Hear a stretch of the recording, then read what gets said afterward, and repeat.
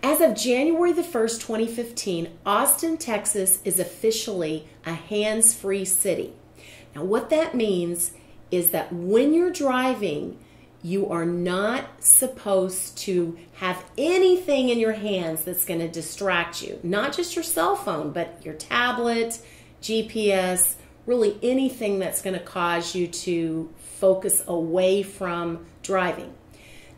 Distracted driving is a major problem. In 2012, there were 421,000 injuries caused by distracted driving and that was a 9% increase from 2011.